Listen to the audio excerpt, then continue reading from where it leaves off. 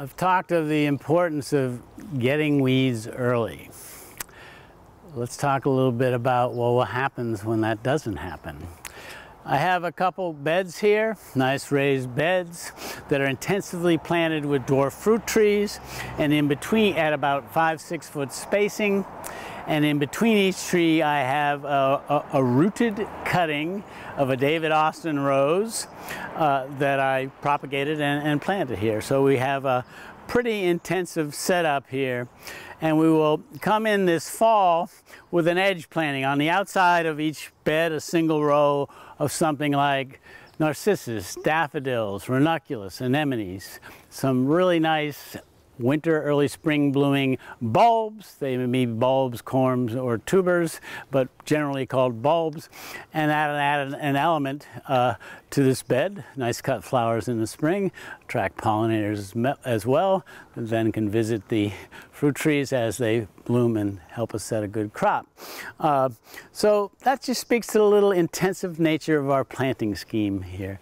How can we use space at, I'm not going to say maximum, I'm going to say an optimum level, but high-end optimum. How many plants can we grow together, different types of plants, maybe two or three in the same bed, so that the growth of one doesn't interfere with the other. And this setup, I think, will work quite well for us. When the flowering bulbs on the edge of the bed uh, are done in spring, we have an opportunity for summer planting on the side here.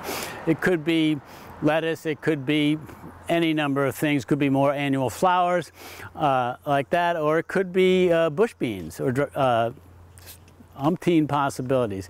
Well, that's then. This is now. What have we got here? We've got some pretty serious weed pressure. And how did this come about? Simply, mea culpa, mea culpa, mea culpa, my bad.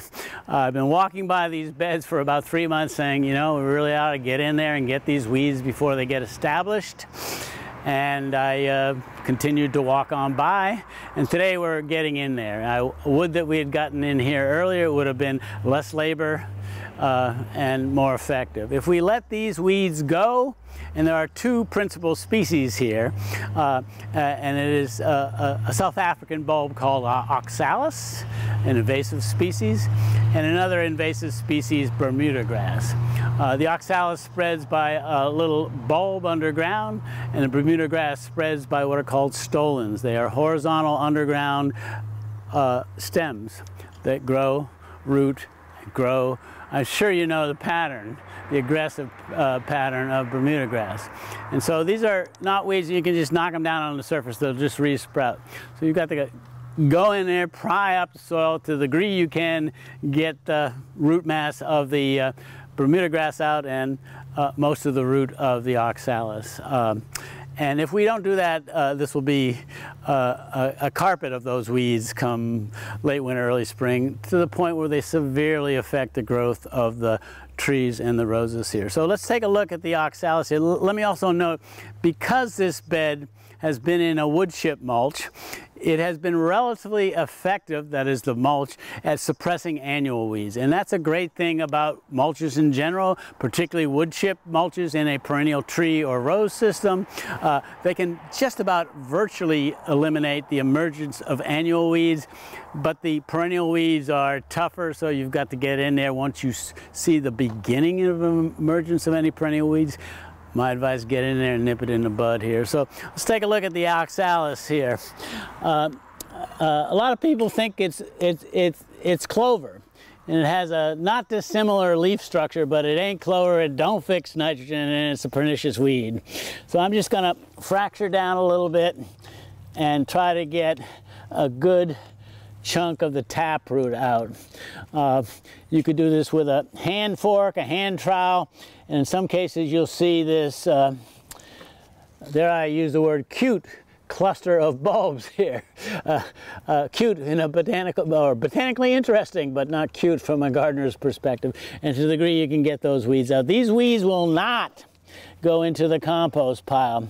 In some cases, the manifestation of the oxalis is simply a taproot like that. So it's, it's necessary uh, to go and fracture and pull and remove And I might add, none of the weeds in this bed are going to go into compost. Otherwise, we'll be propagating these pernicious perennial weeds. They'll go in the green waste can uh, and go away. So uh, it's, it, it's tedious. It would have been easier to do this a month or so ago. Uh, the plants would be smaller. Our movement would have been quicker. Our attitude would have been better. And our effectiveness would have been higher. But we remain undeterred. We're going to get in here, get down to the mulch level, and then we'll reapply a new mulch for overwintering here. Maybe as thick as three, four inches. Again, serving to suppress annual weeds and to knock back these pernicious perennial weeds a bit. Uh, one good thing about Bermuda grass is it goes dormant in the winter, but it will reemerge in the spring. But you can bet I'll be chasing by my walking on by thing here uh, next year, and we're going to be on this as soon as we see any emergence, nip it in the bud, as it were. Uh, let's look at the Bermuda grass up here, and uh, it's probably worth using a gardening fork like this. And again, you could sit down here and be extremely thorough and get every little last rootlet out, stolon. Uh, and really knock it back. We're going to be somewhat less thorough than that, but not too uh, slipshod. So I'm just going to fracture down, and you can see the stolons. Let me grab my hand tool here. Uh, again, the spreading of the Bermuda grass is by, via stolons. This is what the stolon looks like.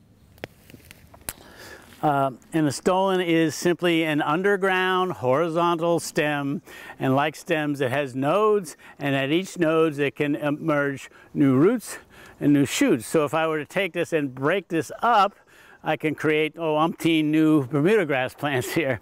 And to a certain extent when you dig and disrupt you are propagating it. But you're also having a weaker piece here, vegetative piece, that will come back less strong.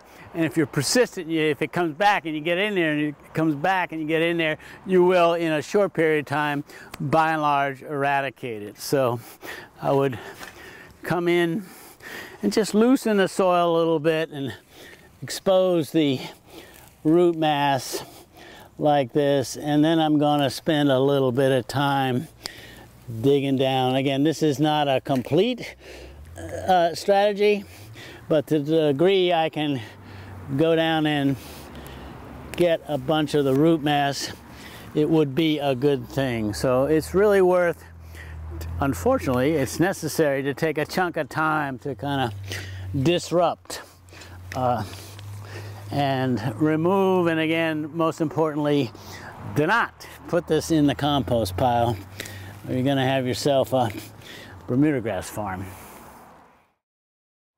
Okay, we stepped in and tried to make good a situation that wasn't so good. We had a pretty good mass of Bermuda grass and emerging oxalis weeds.